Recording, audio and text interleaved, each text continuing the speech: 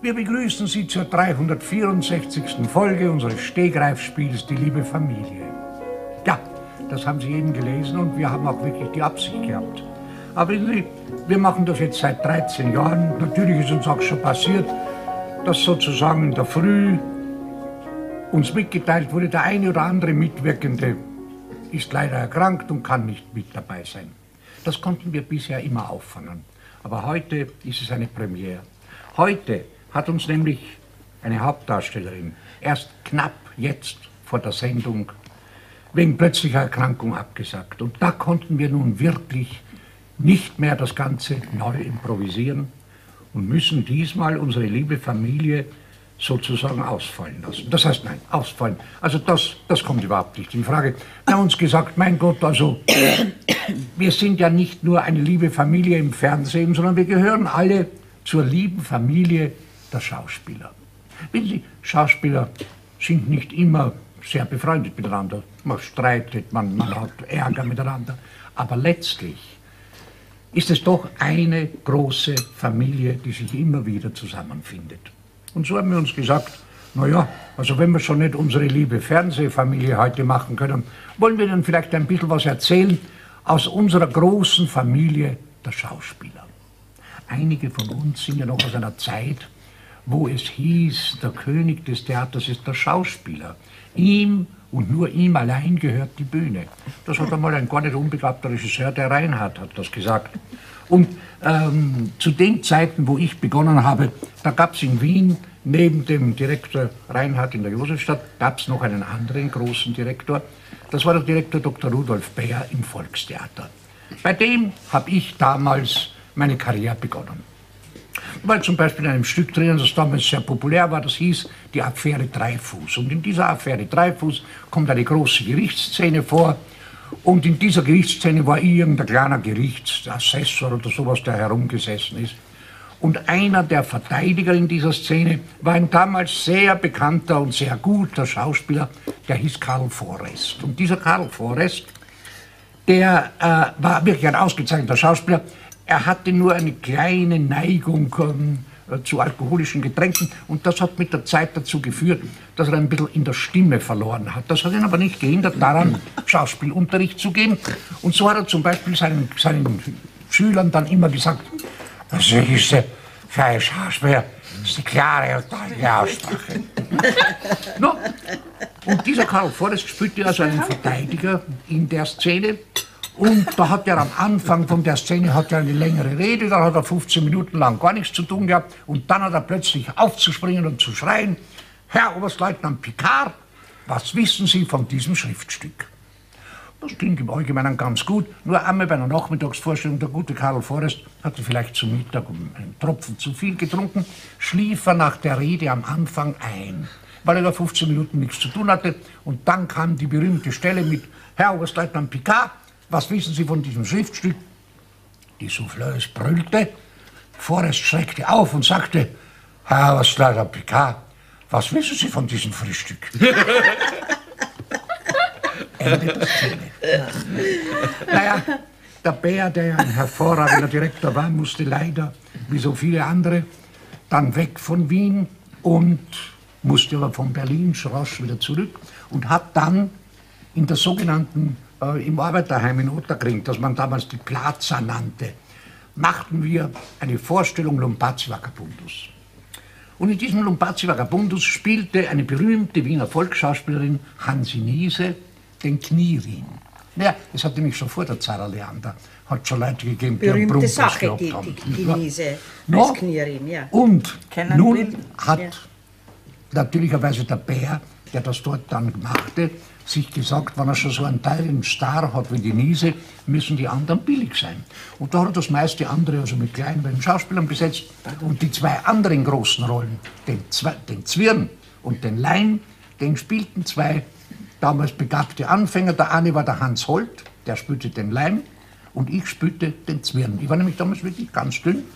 Also wir natürlich, der Holt und ich, wir waren ganz entzückt, dass wir sowas machen dürfen. Sind auf die erste Probe, ich komme an Leseprobe. Also ich habe sie natürlich auswendig kennen. Meine erste Freund kommt, ich will sie gerade sagen, sagt sie die Niese. Denke ich mir auch. Kann passieren. Ja. Also, Erfahrung kommt, mit dem Prominenten. Es kommt die zweite, die zweite Point. Ich kann gar nicht so schnell reden, war schon wieder gewesen. Als das bei der dritten wieder der Fall war, habe ich gesagt, verzeihen Sie, Frau, ähm, Sie scheinen eine andere Ausgabe von Nestroy zu haben als ich. Da sagt sie, ja, geh, Burschel, da wunderst du, dass ich immer alle Pointen vom, vom Zwirn sag. Sag ja, da wundert ich mich wirklich. Sag, naja, weißt, kann, kannst du dich an den Sölligen Straßmeier erinnern? Na, wirklich nicht, der war schon 20 Jahre tot, also woher sollte ich mich an den Sölligen Straßmeier? Sagt sie, weißt, das erste Mal, wo ich den Knie gespielt habe in Lombazi, hat der Sölligen Straßmeier Regie geführt. Und da haben wir einen Zwirn gehabt, der war sehr unbegabt. Und da hat der, der Budel Straßmeier zu mir gesagt, Hansi, mit dem fallen wir durch. Sag ich, aber nein, das wird schon werden. Sagt er, nein, nein, nein, es gibt nur eine Rettung. Die Pointen, die Zwirn hat, die musst alle du sagen. Na, ich habe mich gestreift. An, an, an, jungen Kollegen, die Pointen wegnehmen. Nein, das mache ich nicht. nicht Aber der Straßmeier war der Regisseur, nicht wahr? der hat mich gezwungen. Dann habe ich es halt dann gesagt. Und es war ein Erfolg, ein solcher Erfolg. Nach der Premiere ist mir der Straßmeier um den Hals gefallen und gesagt, Hansi, Du warst großartig. Aber eins muss man versprechen. Immer wenn du den Knirrimbo spielst, musst alleweil du die Pointen vom Zwirn sagen. Und jetzt sag ich es halt weiter. Aus Pietät für die Das ist das Beste. Na gut, was habe ich tun können? Nix. Aus also, also die pietätvolle Hansi Wies hat alle meine Pointen gesagt. Und natürlich im Laufe der Vorstellung haben wir gedacht, irgendwie werde ich da revanchieren. Und da kommt ja eine Stelle in Lumpazzi vor, wo der Knirim singt, Eduard und Kunigunde, ja. Kunigunde und Eduard. Na, singen kannst du nicht. Nein, nein, nein. Nein, das war ja wirklich jetzt markiert ja. und das ist in dem Fall wirklich erlaubt. Na gut. Also habe ich eines Tages der, noch an der Stelle mich gewendet zum Holt als Leim und gesagt, du, weißt du, Tischler, wie der Schuster dem Vornamen heißt? Sagt er, nein. Sag ich, er heißt Anton. Sagt er, wieso heißt er Anton? Sagt er, naja, sag ich, nein, weil er alles auf Anton singt. oh, die Nese, die Pepen, die Also, zweimal habe ich das noch machen können. Beim dritten Mal hat sie auf die Frage, was du wieder, Schuster mit dem Vornamen gesagt? Na, natürlich war es ich heiße Anton, weil ich alles auf Anton singe. also, mein Point war wieder weg. Ich habe mir gedacht, eins riskiere ich noch. Das nächste Mal, das nächste Mal wie sie sagt, Anton, Schuster, du hast nicht einmal mehr deinen Vornamen, du hast nicht Anton, du hast Willibald. Sagt sie, wieso ich Willibald? Sag ich, naja, weil wenn du zum Singen anfängst, Willibald fortgehen. Das, das habe ich, das, das hab ich nur einmal sagen dürfen. Am nächsten Abend hatte der Bär mir allgemeines Sprechverbot erteilt, nämlich also außerhalb der mir übrig gebliebenen. Das war mein mein großer Erfolg mit. Aber ich will nicht die ganze Zeit Ila. Ila, was hast du erlebt? Erzähl was. Ja, also erlebt habe ich wahnsinnig viel, weil ich so lange beim Theater bin und beim Film. Aber ähm, meine Geschichte stinkt bestimmt ab, meine Herrschaften. Ihr braucht es auch nicht zu lachen. Ich finde es halt noch komisch. Ähm, die allererste Sendung von der lieben Familie da war natürlich also in uns drin eine wahnsinnige Aufregung, weil es ja doch also stegreif ist und mit einem Wort große Aufregung. Und ich am meisten. Und ich hatte leider Gottes den Anfang, was immer sehr schlimm ist. Und das war so festgelegt. Die Leute wussten ja noch nicht, wo das Ganze spielt, die kannten nicht die Wohnung und gar nichts. Also ich muss aus der Küche rausgehen, im Vorzimmer Licht machen dann sehen die Leute das Vorzimmer. Dann da hereinkommen, hier Licht machen und der Gang ist deshalb, weil das Telefon klingelt. Alles sehr gescheit überlegt.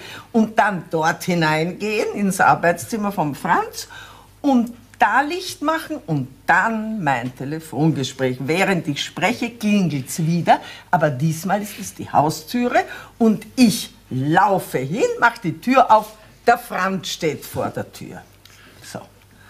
Also die Jetzt sein beginnt, beginnt, es beginnt und ich, ich höre Leuten und ich renn durchs schwarze Zimmer. Wie ich so, nein, nein, zu, ah ja, eben. Ja, er weiß besser. Nein, Du hast irrtümlich die Tür aufgemacht, statt zum Telefon zu ja, gehen. das wollte ich aber dann erzählen. Das ist gut, Sie haben aber Pointenkiller, ne? Das nennt man Meine Räuber. Herrschaften, denken Sie sich den Schluss. Ich Nein, rede ich nicht verstehe weiter, aber ich habe die trotzdem Pointe verlangt. Ja, ja, ist gut. Wenn Sie Was was erzählen, dann werde ich auch so reagieren wie die Niese. Pass auf. Naja, sicher, Ja, ja, das ja, ja. schon. Also ich meine, Also die nein, ich habe ja mich nicht geirrt mit dem Klingeln, Ja, leider ja, Gottes, ja. und bin also statt dahin, dahin gerannt. Und da stand ein völlig Vater, so, so relaxed, der Stoß, weil er ja gedacht hat, ich komme ja noch lange nicht dran. Und er macht so durch die Brillen und reißt mich und zieht mich aber durch, mit aller Gewalt durch das Dings. Und dann habe ich aber sehr besonnen gleich telefoniert, das muss ich sagen.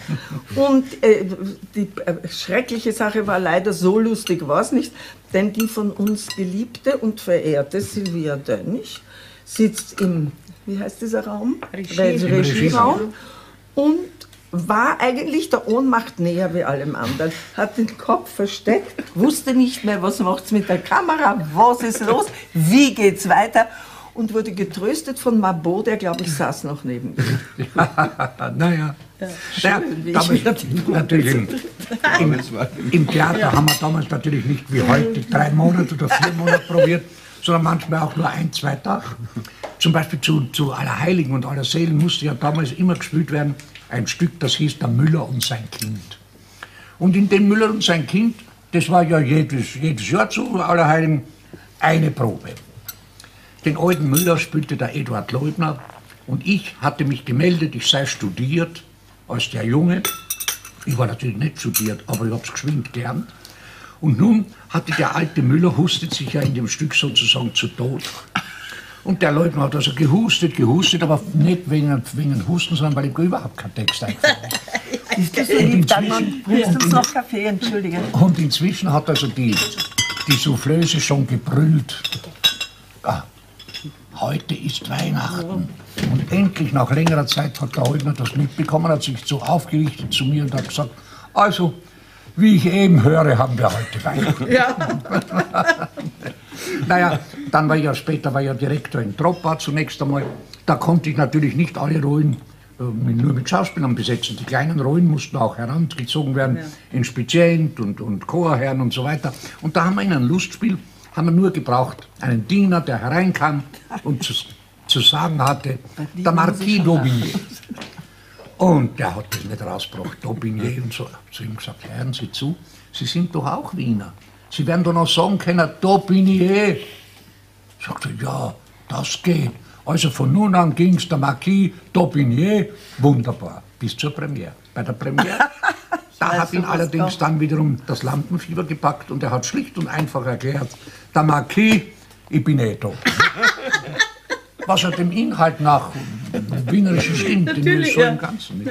Na, Nur nicht gut. ganz französisch. ne? Ja, ja. kommt der Guido dran. Du bist so schweigsam. Was hast du? Ich bin nicht schweigsam, ich denke nur nach ein bisschen.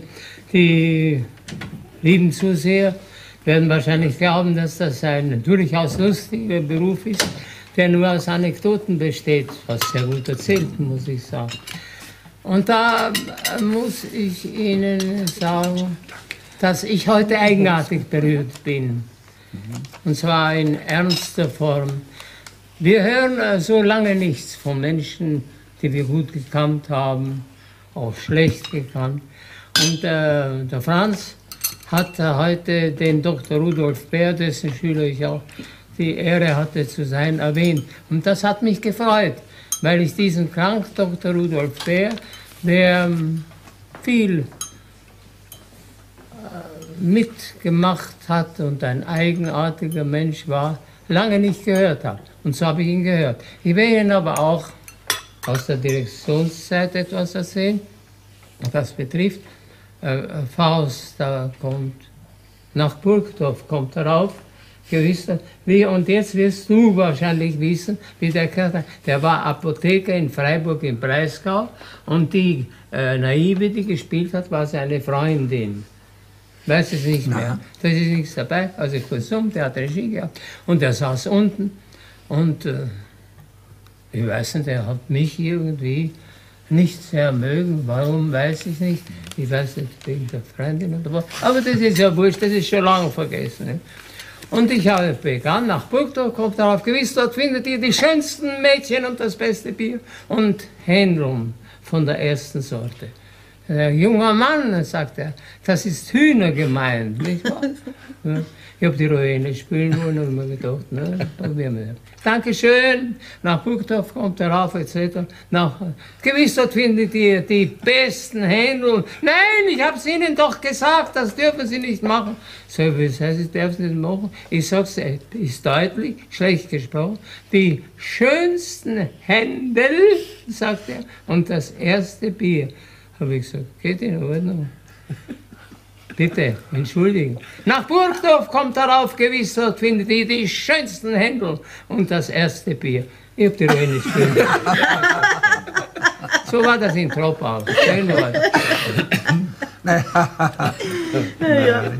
Vom Bär gibt es ja, äh, der hat ja doch auch eine Schule, also das ja, ja, hat gesagt, der war also bei ihm Schiller.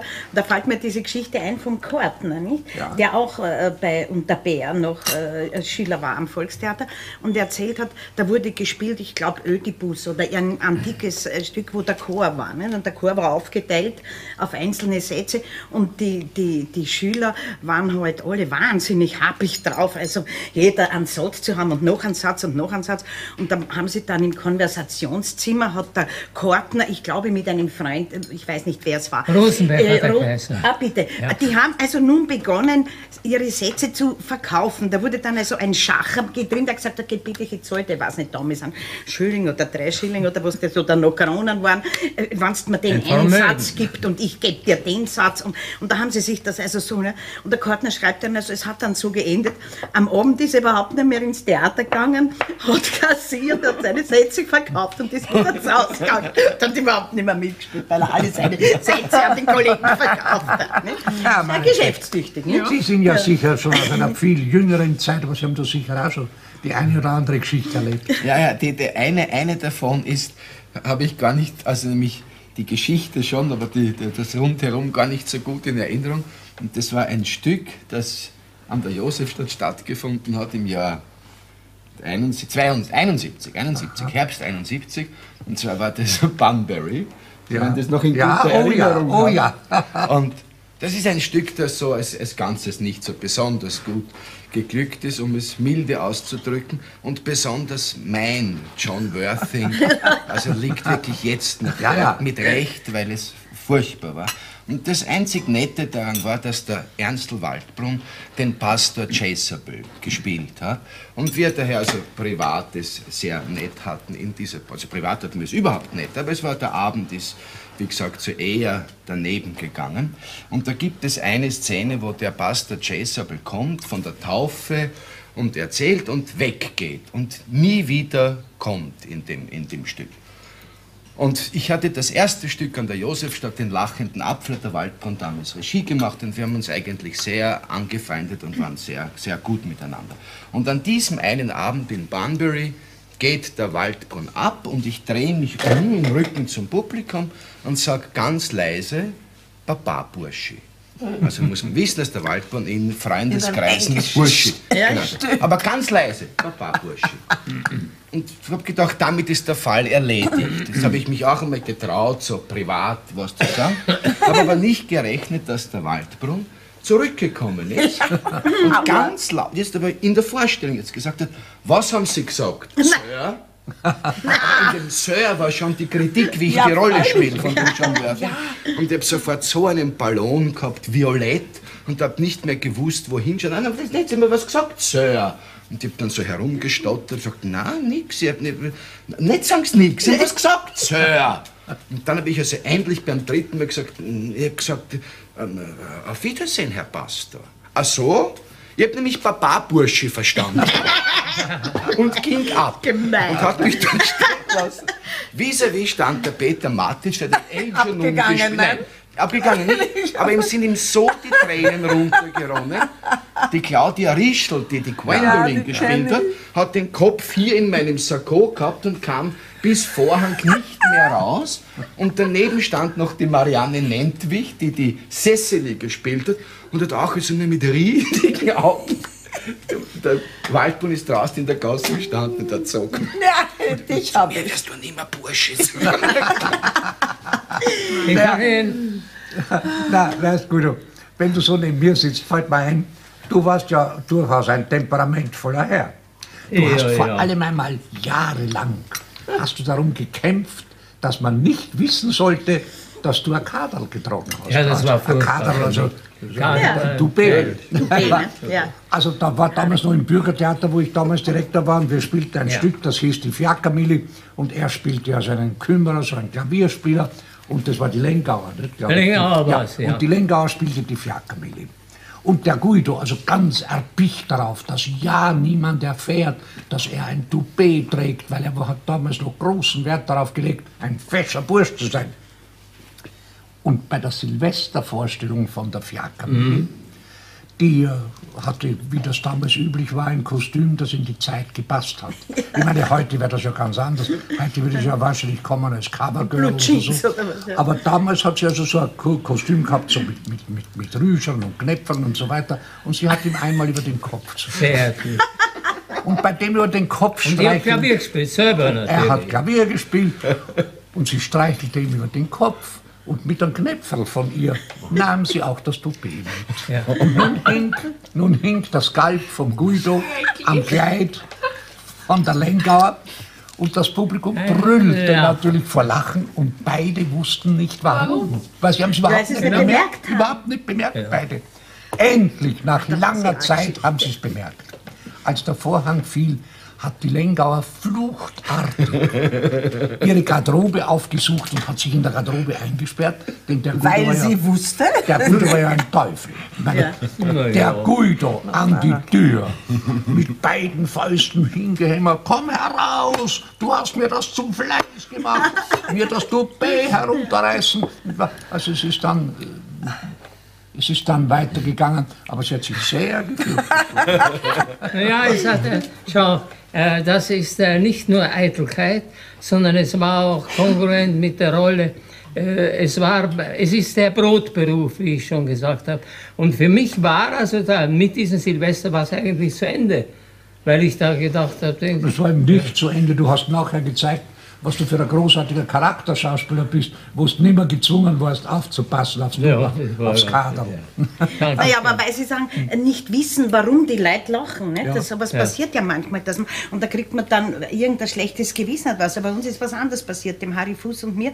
Wir haben gespielt Haus der Temperamente. Mhm. Und das ist ja eine viergeteilte mhm. Bühne. Und wir waren also oben im ersten Stock. Ich war also die phlegmatische Tochter und der war der cholerische Sohn. Und, und das war eine, eine, eine Vorstellung, die einen Riesenerfolg hatten. Wir hatten, ich weiß nicht, 230 oder was Szenenabläuse. Und an einer Stelle äh, kniet der vor mir und ich saß an so einem Stickrahmen und es war immer ein Riesenszenenapplaus. Und wir haben uns, haben, habe ich gesagt, weißt du, warum da die Leute eigentlich applaudieren oder so? Wir sind so gut, ne? Ah. Also, der kniert und auf mich ist das so schlimm. Wir haben es nicht gewusst, ich schwöre. Da haben wir schon gehabt, ich glaube, 40 Vorstellungen. Und dann haben wir gastiert damit in Recklinghausen. Und irgendwie habe ich mit meinem Mann dann gesagt, du, wieder haben die Leute applaudiert. Sag ich, wir verstehen das nicht. Kammer war halt zum Beispiel, der Harry und ich, wir haben da immer einen Szenenapplaus und wir wissen eigentlich nicht genau, so komisch ist das gar nicht, was man da sagt. Das weißt du nicht. Da tritt unter euch der Kohut auf als ein melancholischer Sohn mit einer Lilie und der hat einen Auftrittsapplaus. Natürlich, weil das gleichzeitig nicht gewusst haben. Nein. Haben glaubt, wir haben, den, wir haben da einen Applaus. Aber mit naja. dem Kadel gibt es auch eine schöne Geschichte vom Toupet, von Kurt Bois, der den Malvolio gespielt ja. hat. Das kennt ihr? Nein, Nein. Der hat den Malvolio gespielt und ist, ist, musste so durch eine Dornenhecke und hat seinen geklebten, seinen Ziegenbart gehabt mhm. und blieb mit dem Ziegenbart in den Dornen hängen. Und dort aber nun nicht nervös oder irgendwie fahrig, sondern sich ganz sorgfältig wieder mit dem mit dem Bart aus der Hecke gelöst und ist zurückgegangen. Und jetzt hinkt das Toupet. ist er hingegangen, hat das Toupet aus der Hecke genommen, ist vor zum Souffleurkasten hat gesagt, to pay or not to pay. das ist halt genial. Sehr genial. Das ist halt wirklich sehr Naja, damals im, im, Bürgertheater, das es heute ja längst nicht mehr gibt, da steht heute die, die Zentrale von der ja, Z. Ja, da haben wir auch gespielt, die letzte Operette vom Edmund Eisler. Der Edmund Eisler war ja in der, in der Nazizeit verfolgt, ist dann nach 1945 natürlich einigermaßen rehabilitiert worden und ist relativ jung oder jung, also bald gestorben, ich glaube im Jahr 47. Und es gab dann daher für ihn so eine Art Staatsbegräbnis. Es war also ein Zentralfriedhof und es waren, weiß ich, 26 Redner, die also ich war die Nummer 12 oder Nummer 13, damals als äh, Präsident ja. des Direktorenverbandes. Und als letzter Redner, selbstverständlich dem Protokoll gemäß, der damalige Bundespräsident. Der Bundespräsident war der frühere General Körner, der zunächst einmal Bürgermeister von Wien war nach 45 und dann war er also Bundespräsident. Und dem hat man natürlich, weil er ja vom Theater nicht sehr viel Ahnung hatte, hat ihm ein Beamter ein schönes Manuskript geschrieben. Er hat sich auch brav an das Manuskript gehalten. Nur dann ist er plötzlich übermütig geworden und hat sich an das Manuskript nicht mehr gehalten und sagte dann, Ah, und so nehmen wir Abschied von einem großen, berühmten Musiker, der das weltberühmte Lied geschrieben hat, Küssen ist keine Schande. Dann lache ich, jetzt habe ich das schon zehnmal von dir gehört, noch immer schrei ich. Die Trauergemeinde schaut ein. Wie heißt so schön eingeschaut haben sie. Ja. ja. ja in der, in der Nazizeit mussten ja leider viele von unseren großen Schauspielern emigrieren, darunter auch die großartige Komikerin Gisela Werbezirk. Ja. Und die Gisela Werbezirk war also dann in Amerika und da hat man sie eines Tages gefragt, sagen Sie, Frau äh, Werbezirk, sind Sie happy hier in Amerika? Sagte sie, wissen Sie, Happy bin ich schon, aber glücklich bin ich nicht. Jetzt möchte ich fragen, die Jüngste, die ganz Junge, hast du schon eine Geschichte für uns? Ich weiß nicht, ob ich die Pointe nicht auch vermassle. Wie ich bestimmt so, so vermasselt wie ich kannst du das gar nicht erzählen. Also es ist vor kurzem bei uns passiert im Simple. Wir haben Vorstellungen und wir haben immer Probleme mit der Technik. Und wir sind aber gerade. Im gibt es sogar eine Technik. Ja, klein, aber fein. Ja. Und wir spielen gerade, wir sind gerade beim Finale. Und plötzlich geht also das Licht aus, es ist stockdunkel, keine Musik, gar nichts. Das wäre was für mich. Oh Gut, also brav wie wir sind, singen wir weiter, spielen das Finale. Wir haben uns halt einfach gedacht, nur nicht aufhören. Und es wird aber nicht mehr hell.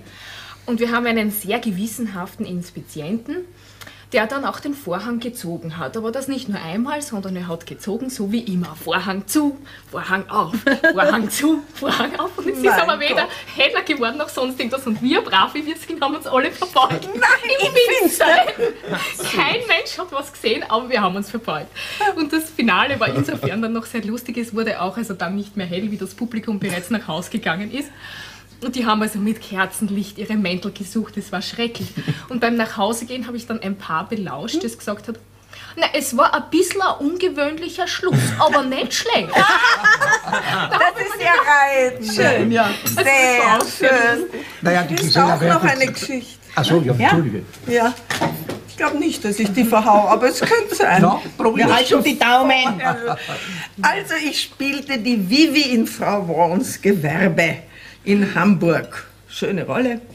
Und Frau Worn war die Ida Ehre, die Prinzipalin, mit der ich sehr befreundet war. Und wir beide haben sehr gern gelacht. Und zum Schluss, das Schluss von diesem Stück ist so, dass die Vivi streng, wie sie ist, an einem Schreibtisch sitzt und die Mutter steht vor ihr, schaut sie so an und sagt, Gott helfe einer Welt, in der jedermann anfangen wollte, das Richtige zu tun. Und geht ab. Vorhang. Und die Idusch hat eines Abends gesagt, sie hat sehr große Augen gehabt, so große. Gott helfe einer Frau, in der jeder Mann anfangen wollte, das Richtige zu tun. Sie war so wütend. Und dann bin ich nur weil einschauen. Dann habe ich nur so ein bisschen eingeschaut, dann ist der Vorhang gefallen. Und, sie, und dann hörte ich hinten einen Boxerer, da ist, hat sie sich auf die Bretter gesetzt, weil sie so verzweifelt war, dass sie es weitergesprochen hat. Kennst du das? Naja, naja, die Gisela Werbezweck, die ist ja dann die hat man dann auch einmal gefragt in, in, in Amerika. Sagen Sie, Frau Werbezirk, wie gefällt Ihnen Hollywood? Sagte sie, Gott, Hollywood. Burgersdorf mit Palmen. Ja. ja und, und das Köstlichste von ihr war, von der Gisela Werbezirk, fragte man sie eines Tages, also, warum sind Sie hier in Amerika nicht glücklich? Sagte sie, hören Sie, wie kann ich in einem Land glücklich sein, wo man meinen Vornamen Geisela ausspricht. Ja, schrecklich. Ja, sie hat Gisela, Gisela ja, geheißen. Ja. Ja, ja, Du wolltest was sagen, gut? Ja, ich wollte ganz kurz, weil wieder Stichwort Brotberuf. Ich kam, äh, binnen sieben Tagen war das, ich war unter Wenzel in den Kammerspielen mhm. und äh, Gimisch in der Nachtrevue. Und binnen sieben Tagen stand ich in New York und binnen neun Tagen habe ich gespielt also weil, weil ich Operette spielte, weil ich getanzt habe und so weiter. Und ich habe mit dem Kapellmeister Kurzfassung ausgemacht, das war ein sehr lustiger äh, Jugoslawe. Und der hat gesagt, sagt, der, würde, der will dir dein, äh, dein, äh, dein Honorar nicht zahlen. Sag ich, ja, ich habe ein Pufferhonorar und der, der Schober ist ein singender Bonbon, ein singender Tenor. Ich kriege 10 Dollar. Sagt er, das machen doch mehr. Pass auf, ich klopfe so oft ab, wie du willst und wir spielen drei Meter Haus. Richtig. Also das ist drei Meter Haus und das ist, halt, halt, die Lerche mit, der Blau, der Schober und so weiter. Auf einmal aus. Der, der war ruhig. Was ist, was ist mit Ihnen und so weiter. Der hat abgeklopft und hat noch einmal. Und ich habe gesagt, ja, Sie, Sie schulden mir 10 Dollar. Ich krieg 10 Dollar. Aber, aber wieso, wieso? Das ging dreimal. Dann hat er sich hingestellt und ich im Kostüm, ne? Und hat sich hingestellt und hat beim Che seinen Scheck rausgeschrieben mit 10 Dollar, hat mir angeschaut. Und ich habe den Scheck und habe gesagt, so ist recht. Horch, horch, die Leute mit blau. Und habe das eingesteckt. Naja, so im Laufe eines langen Theaterlebens erlebt man ja vieles. Einen besonders netten Kollegen habe ich gehabt in der Josefstadt. Äh, der war auch Betriebsrat in der Josefstadt. Und der war ein bisschen deswegen gefürchtet, er war ein Grabredner. Er ist also wirklich immer am Grab gestanden und hat letzte Worte nachgerufen. Ja? Also bitte, solange er nachgerufen hat, toi toi toi für drüben. War schon eigenartig, aber das ging noch. Ein anderes Mal hat er gerufen, lebe wohl. Das war schon etwas auffälliger bei einem Toten. Aber das war noch lang nicht die, die, die, die, die wirkliche große Leistung. Die große Leistung war dann schon, wie er einen Kollegen, der mit dem Vornamen Franz hieß, nachgerufen hat, Kopf hoch, Franz. Das war schon sehr schön. Einem anderen hingegen hat er einen guten Ratschlag mitgegeben. Am Schluss dem hat er nachgerufen, nicht aufgeben, weiterkämpfen. Es war nicht ganz sicher, meint er mit, die, Teufeln oder mit den Engeln, das war aber auf jeden Fall. Aber dann hat er eine Leistung geboten und haben dann alle gesagt, jetzt darf er nicht mehr am, am Grabe reden. Also nämlich einem lieben Verstorbenen nachrief, gesund bleiben. Nein, nein, das kann. Das war dann doch zu viel. Aber bei dem Begräbnis, da fällt mir auch etwas an, das ist nicht so lustig, aber vielleicht, das war das Begräbnis vom Schönherr, vom Dichter Karl Schönherr. Und das haben die Excel-Leute, die ja mit dem Schönherr, für die hat er ja alle seine Stücke ja, geschrieben, meine Mann erzählt haben. Und der Schönherr ist gestorben, es muss im letzten Kriegsjahr gewesen sein oder im ersten noch ein Krieg oder so, also jedenfalls, wo es ganz schlecht war. Und das war das Begräbnis am Zentralfriedhof, nicht? Und dann, der Sarg wurde hinuntergelassen und die Exels, die Ilse Exel hat das erzählt, sind noch gegangen, irgendeinen Verwandten oder wen, ein Grab zu besuchen. Und wie sie zurückgehen, kommen sie wieder am Grab vom Schönherr vorbei und der Sarg steht wieder oben. Und sie gehen hin und der eine, der eine Totengräber oder Sorgträger oder wie die heißen, steht daneben und die sagen, was ist denn los? Wieso haben sie denn den Sarg wieder da heran? Und dem war das peinlich. Und er hat gesagt, na ja, wissen Sie, nimmt mein Kollegen sind nämlich beim Bucken die Zigaretten runtergefallen und der Sarg ist auf die Zigaretten gestanden und jetzt haben wir wieder raufgekommen, weil man ja die Zigaretten, das war gezeigt worden, Zigaretten, Zigaretten so Ding dass man ja. den Sarg wieder herauf, herauf ja, ja, ja, ja. Und das passt so wahnsinnig zum Schönherr, nicht? Ja, das genau. ist so, so, so, skurril und genau. so, so absurd, wie, ja. wie, wie er ja, ja, der Schönherr war, war ja auch ein gefürchteter Regisseur. Hat also, der Regie gefürchtet? Ja, Moment, er konnte es nicht, aber er ist, wenn sein eigenes Werk von ihm ist er gelegentlich im Burgtheater auf den Proben erschienen und hat begonnen zu erklären, nein, das müssen Sie ganz anders sagen, da müssen Sie rufen, Blut, Blut. Und der Hugo Diemig, der mitspielte, ging dann zu ihm hin und sagte, Herr Doktor, wissen Sie, Sie sollten das den jungen Kollegen nicht so vormachen. Wissen Sie, uns Alten können Sie das so, ich so zeigen, aber bei den Jungen besteht ja die Gefahr, die spielen das dann wirklich so. ja. naja, der Dressler war damals auch ein berühmter Schauspieler, großartiger Charakterspieler. Mit Text hat er gewisse Schwierigkeiten. Ja. Und eine seiner Glanzrollen war der Cyrano von Bergerac. Nun hat der Cyrano von Bergerac hat ja so eine Art Sprech Arie. Ja, ja. Das sind die Gascogner Kadetten, ihr Hauptmann ist Castel Jaloux. Ja. Sie streiten, sie raufen, sie wetten und niemals geben sie Ruhe. Ja. Naja, und eines Tages ist heute dem Dressler der Jaloux um keinen Preis eingefallen. Aber war ein routinierter Kollege, er hat einfach gesagt, das sind die Gascogner Kadetten. Ihr Hauptmann ist einer mit U. Und schon war der Vers gerettet. Das muss einem einfallen. Das Goda hat ja auch einmal sich sehr gut gerettet. Wunderbar. Das Goda hat ja so schön rezitiert. Insbesondere auch hat er sehr gern rezitiert den Erlkönig. Und der Erlkönig endet doch bekanntlich damit, dass es heißt, er reicht den Hof mit Mühe und Not in seinen Armen, das Kind war tot. Also, Skoda rezitiert das, hat einen kleinen Fehler gemacht hat, dann plötzlich gesagt, er reicht den Hof mit Not und Mühe in seinen Armen das Kind. Batü. Und angeblich und, sollen es die Leute nicht gemerkt nein. haben. Nein, und die Leute, das ist eben, sehen Sie, jeder glaubt, er hat sich verhört. Das ist die große Kunst des Schauspielers. Da glaubt nämlich jeder, man hat sich verhört. Er hat glaubt, man glaubt, das ist Wenn man einen Fehler gemacht hat, ja, nicht ausbessern, sondern den Fehler garantiert eisern durchziehen, dann glauben alle, hm, ich hab mich Der Keynes hat behauptet, dass, dass er das kann. Er hat gesagt, wenn er den Ferdinand spielt, es merkt niemand, wann er am Ende des Ferdinand-Monologs statt zur, zur Milford sagt, statt ich verwerfe dich, ein deutscher Jüngling, ich verjünge dich, ein deutscher Werfling. das fällt niemandem auf. Hat es gemacht, ja.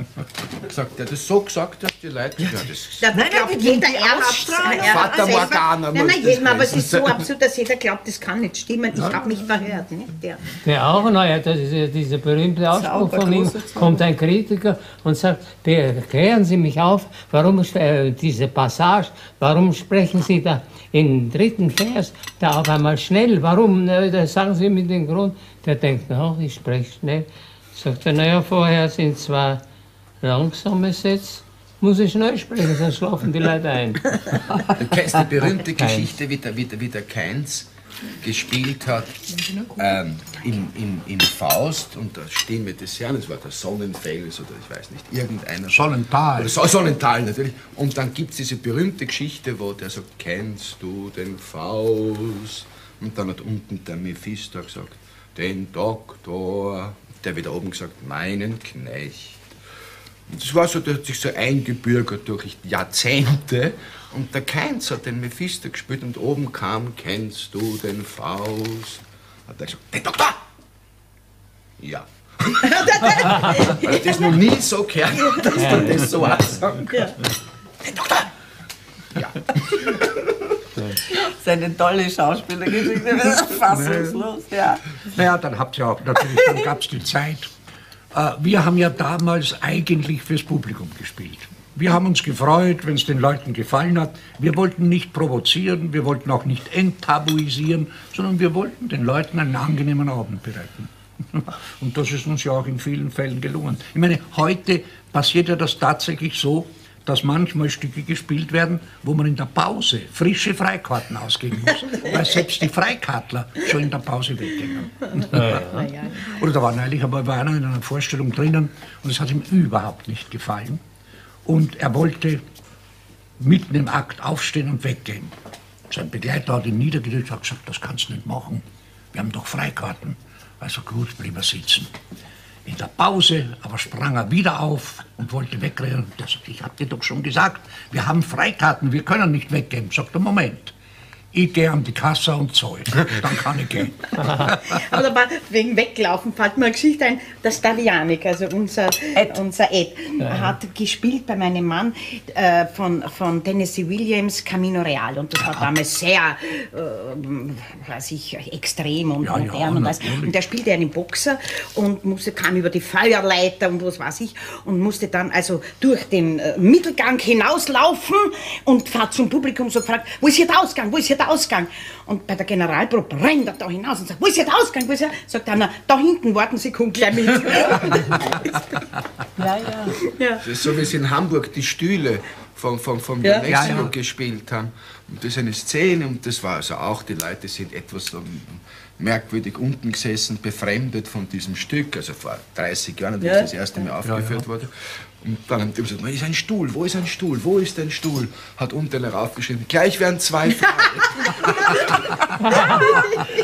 naja, das erste Mal mit, mit Zimmertheater in Hamburg habe ich erlebt, dass eine Schauspielerin äh, das saß aber wirklich, also hier war die Schauspielerin, hier begann schon die erste Reihe. Das musste man verkraften. Und die hat eine Zigarette in den Mund genommen und schon hat der Herr in der ersten Reihe ihr Feuer gegeben. Das ist auch. Ja, ja. Und das finde ich aber find ich interessant. Ja, ja. Nicht? Das, da verschwimmt etwas. Das Wir haben in den Außenbezirken auch Spielstellen gehabt, wo die Leute fürs auf die Bühne gelegt haben. Ja. Ja, ja. Und das machen jetzt komischerweise, neulich war eine Vorstellung für Jugendliche irgendein, und, und, und da hat es mich wirklich gestört in der ersten Reihe, mhm. einer so gesehen mit den Viers auf der Bühne. Und da bin ich wirklich so hingegangen habe so geschaut, als man da ein Blumenblatt hatte, ich ein bisschen Zeit, habe so mit dem Kopf mhm. geschüttelt und dann hat er es runtergenommen. Hat das runtergenommen.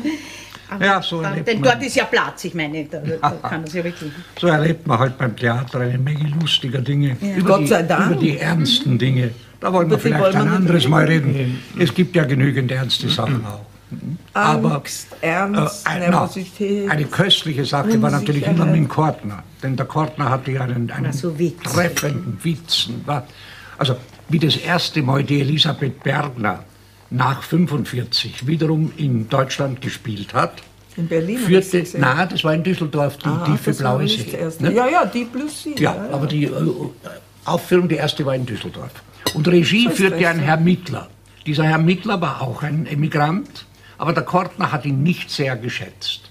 Was dann hervorging aus einem Telegramm, das er der Elisabeth Bergner schickte. In dem Telegramm hieß es nämlich, liebe Liesel, gratuliere zum Riesenerfolg, trotz Hitler und Mittel. so, aber ich glaube, jetzt haben wir lange genug uns über alle möglichen und unmöglichen Dinge unterhalten. Langsam geht die Zeit zu Ende und langsam wollen wir wieder in unsere liebe Familie zurückkehren und wollen daran denken, dass das heute, so hoffen wir, eine einmalige Ausnahme war. Und, und dass hoffen, dass die Kollegin bald gesund richtig, wird. Ja. Dass ja. die Kollegin und dass wir überhaupt alle noch halbwegs weiterhin gesund bleiben. Und dann hoffen wir natürlich, liebe Seherinnen und Seher, dass Sie uns diesen heutigen Nachmittag nicht übel nehmen dass Sie uns verzeihen, dass wir Ihnen heute statt einer Fortsetzung der lieben Familie ein bisschen was aus unserem Leben erzählt haben. Und vor allem haben wir eine große Hoffnung. Beim nächsten Mal, da sind wir alle wiederum die liebe Familie. Und beim nächsten Mal hoffen wir sehr, dass Sie alle wieder zu unserer lieben Familie gehören werden. So, und jetzt, liebe Freunde, Schenken wir uns noch was ein. Schenken ja. wir uns noch was ein? Oh, bitte schön. Schenken wir uns noch was ein. Wir haben das. So, wer will noch Kaffee hinter uns? Ja, Nein, ich habe so bald einen Kaffee. Ja, aber ich werde werd das also nicht mehr. Das war nur Vorstellung, aber ein bisschen zu viel naja. vielleicht. Was macht ihr denn ja, heute noch? Was, was gibt es heute im Theater? Was ihr wollt. Ach so, das was ihr wollt. Ja. Ah ja, bei was, was ihr wollt, natürlich. Ja. Da ist jemand an die Kasse gekommen. Ich habe wieder Geschichte. Ach so. Und hat gefragt, was spielen Sie heute? Hat man eben gesagt, was ihr wollt. Hat sie gesagt, na, dann möchte ich das Weiße Röschen. Naja, das war jetzt herausfordernd. Auf was ihr wollt, muss ich weiß auch, mal, bei uns war mal ein Portier und da wurde angerufen, ja. äh, was wird denn heute mal, hat er gesagt, ja, im, im Haupthaus spielen Speech Malone und in die Außenbezirke die Neff als Onkel.